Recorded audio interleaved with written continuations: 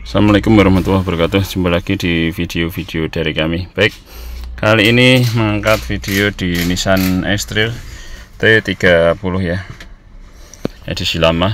Untuk keluhan yaitu RPM naik turun. Nah singkat cerita Unit ini kemarin sudah kita analisa ya. Jadi sudah kita vonis bahwa kerusakan terjadi di bagian airflow.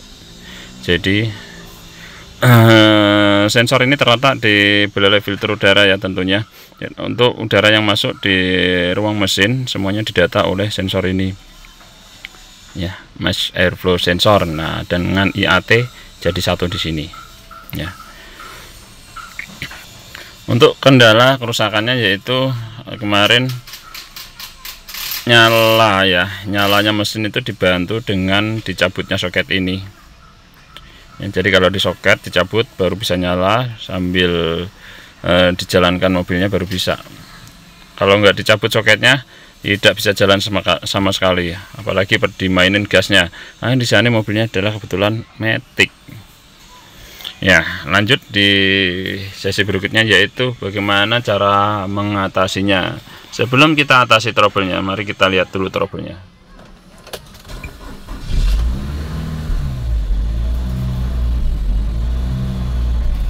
ya itu adalah RPM yang naik turun. Ya kisaran 1500 sampai 2000 tanpa diinjak pedal gas nih. Ya. Selain menggunakan alat bantu scanner seperti ini hmm, yuk kita praktekkan cara idle learning secara manual yaitu idle learning ini bertujuan untuk menyelaraskan berapa bahan bakar berapa idle atau uh, bukaan RPM yang sesuai dalam saat idle ya atau lamsam. Ini mau habis bensinnya. Sangat tidak disarankan sampai nyala seperti ini. Ini tidak mempengaruhi apa ya mesinnya cuman ini kalau diterusin full pumpnya boros ini kayak gini. Cepat mati oke kita mulai aja. Gimana caranya? Bismillahirrahmanirrahim.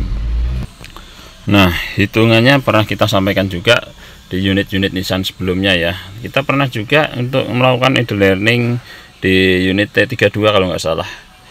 T32 juga bisa ya dilakukan dengan cara seperti ini. Nih dimulai saja yaitu kontak on selama 5 detik. Dihitung ya 1 2 3 seperti itu. Kontak on selama 5 detik. Di off kan selama 10 detik. Kemudian di on kan selama 3 detik. Kemudian diinjak selama lima kali ya. Diinjak penuh. Jadi total penuh. Tuh gini ya penuh gini. Nah jadi sampai lima kali. Terhitungnya seperti ini. Satu dua tiga empat lima seperti itu contohnya. Kemudian dilepas total jangan menyentuh sedikit pun untuk pedal gas ya. Sampai hitungan ketujuh. Kemudian ditahan dan ditekan. Tahan dan ditekan ya. Set, seperti ini. Untuk hitungan sampai kurang lebihnya 10 atau di, ditunggu sampai berkedip ya. Kalau sangat lama sekali dan nggak berkedip artinya gagal dan nggak pas hitungannya nah setelah berkedip eh, kedipan tersebut kita tunggu sampai kedipan eh, berhenti ya. Kedipannya apa? Di kedipan apa? Yaitu kedipan cek engine. Cek engine adanya di sini ya. Nah setelah kedipan berhenti nanti lantas di start seperti itu ya. Ini cek engine namanya nih ya. Ini cek engine. Nih kelihatan nih cek engine. Baik kita mulai aja. Bismillahirrahmanirrahim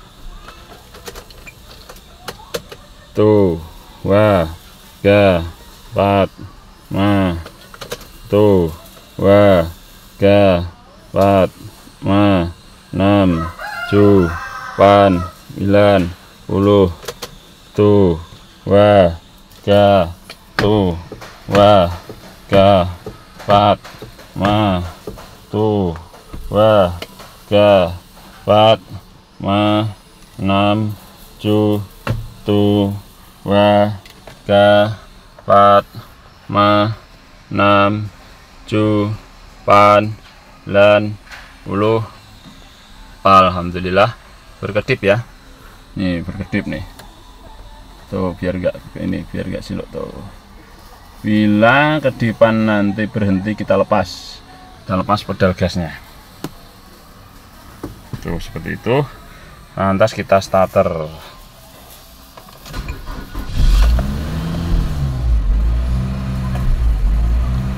ini proses adaptasi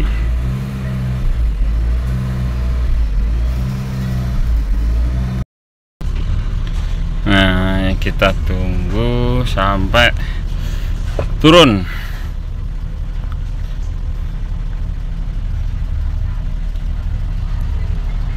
Oke. Mantap. Mantap ya hasilnya. Bila masih sulit atau masih ngaung-ngaung atau masih tinggi bisa dilakukan eh, dipaksa turun ya, dibantu turun dengan memasukkan transmisi begitu ke D atau ke R atau dikasih beban elektrik. Misalkan lampu atau lainnya ya sip. Teknologi ringan hasil maksimal. Siap terima kasih sekian dari kami BMM ya berkah mandiri motor.